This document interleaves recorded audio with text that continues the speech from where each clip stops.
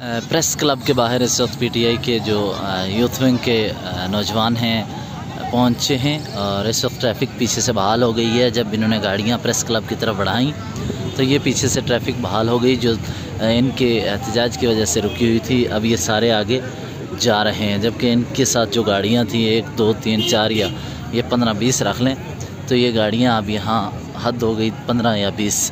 तो यहाँ पर प्रेस क्लब के हम्म।